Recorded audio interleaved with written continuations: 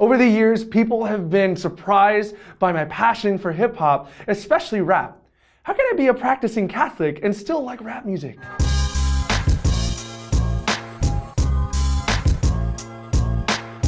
I've always been an advocate for music. Ever since I was 10 years old, music has been a huge part of my life.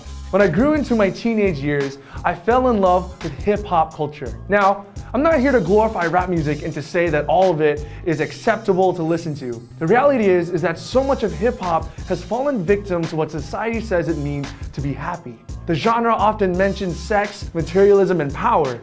That is undeniable. However, I believe that there's a difference between glorification for its own end and expressing these topics for the sake of telling their stories. Lecrae, who is a rapper himself, once said in a TED Talk that hip hop came from people seeking to find positivity in their life amidst suffering through music, dance, and self expression. The music is naturally gritty and violent, but coming from a culture where there is poverty, broken homes, and neighborhoods, that isn't to be a surprise. However, I find that hip hop is not a culture that has been a bad influence on me. Underneath the surface of what the culture was meant to be is a theme of unity, love, and peace. Lecrae stated that rap consisted of showing violence and substance abuse in a negative light. It consisted of endorsing peace and finding the positive in life.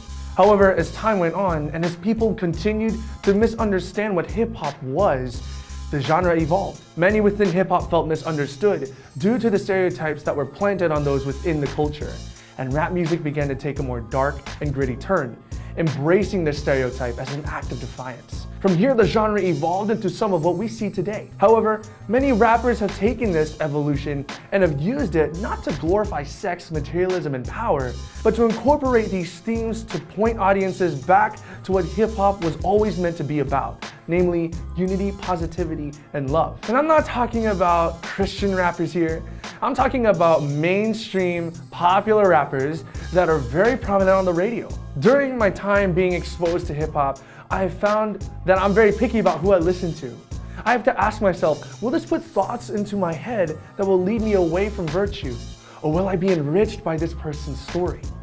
I recognize that every person has a different threshold, and it's alright for people to have an opinion about rap. But to say that all of rap music is a terrible influence is a bit of a stretch. I can honestly say that rap has not taken away from my faith, but has honestly enriched it.